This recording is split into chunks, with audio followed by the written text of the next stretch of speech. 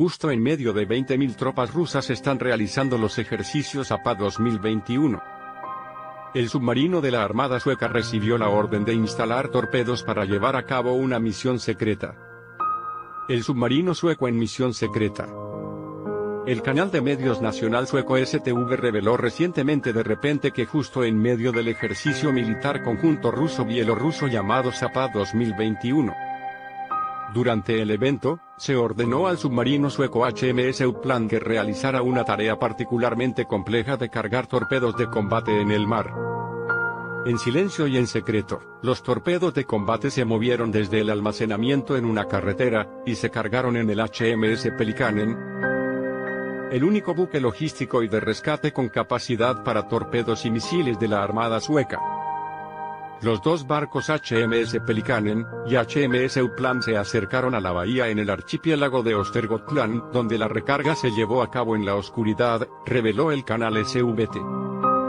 La razón por la que la Armada sueca llevó a cabo esta misión de ejercicio de instrucción fue probar repentinamente su capacidad de combate en el escenario donde su base estaba bloqueada. Normalmente, el submarino regresará a su puerto de origen en la ciudad de Karlskrona para cargar nuevos torpedos. Sin embargo, esta vez llevamos a cabo en un área táctica más cercana a la batalla real.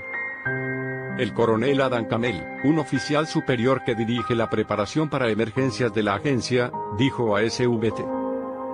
El HMS Upland es un submarino diésel eléctrico de clase Gotland de 62 metros de largo que desplaza 1.580 toneladas con una tripulación de hasta 32 personas. Este submarino se ha puesto en servicio de combate desde 1997 y la Armada sueca también tiene dos barcos similares más llamados HMS Gotland y HMS Ayan, respectivamente. Rusia, Bielorrusia muestra fuerza. El ejercicio Zapad 2021 se lleva a cabo en el oeste de Rusia y Bielorrusia con la participación de hasta 200.000 soldados, más de 80 aviones y 760 unidades de armas. En medio de los militares rusos que disparaban sus armas y realizaban sesiones de entrenamiento, el ministro de Defensa sueco advirtió específicamente. Este ejercicio, considerado el más grande de la historia desde la Guerra Fría, ha tenido un impacto total en Suecia. Vio los ejercicios como una demostración de fuerza que mostraba las enormes capacidades militares de Moscú. Anteriormente, a principios de este año, una base de guarnición en Gotland, la isla más grande de Suecia en el mar Báltico, ha registrado un aumento continuo de la actividad militar rusa en la región.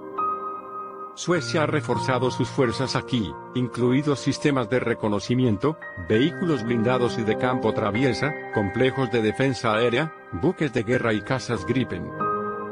Se cree que estas medidas de Suecia están relacionadas con los ejercicios Zapad de Rusia y Bielorrusia. El 13 de septiembre, el presidente V. Putin observó el escenario principal del ejercicio estratégico conjunto entre Rusia y Bielorrusia llamado Zapad 2021 en el campo de entrenamiento Mulino en la región de Nizhny Novgorod, Rusia. El presidente ruso, V. Putin, llegó al campo de entrenamiento de Mulino en helicóptero. Allí, observó los ejercicios desde el puente. El jefe del Estado Mayor de las Fuerzas Armadas de la Federación de Rusia, Valery Gerasimov, informó al presidente, alrededor de 20.000 militares, 5.600 unidades de armas y equipo militar, alrededor de 160 tanques, más de 100 aviones y más de 100 helicópteros participaron en los ejercicios en la región de Nizhny Novgorod.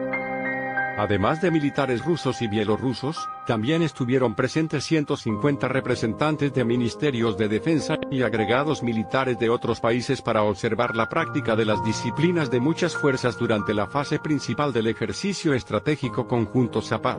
Menos 2021. A la OTAN le preocupa especialmente que ZAPA 2021 pueda ser una especie de táctica de caballo de Troya para que Rusia envíe tropas a Bielorrusia. Los expertos occidentales dicen que este gran ejercicio militar presenta tres riesgos principales. Coloca tropas en preparación para un futuro ataque, el desvío de la actividad militar rusa a lugares distintos de Siria y Ucrania, y la capacidad de Rusia para señalar a los adversarios occidentales que hay otro jugador importante en la arena internacional. Para los observadores occidentales, el objetivo principal de Rusia con Zapad 2021 parece claro. Envía un mensaje indiscutible del poder ruso a sus vecinos occidentales y sus aliados de la OTAN. Bielorrusia comparte una frontera occidental con tres miembros de la OTAN, Polonia, Lituania y Letonia.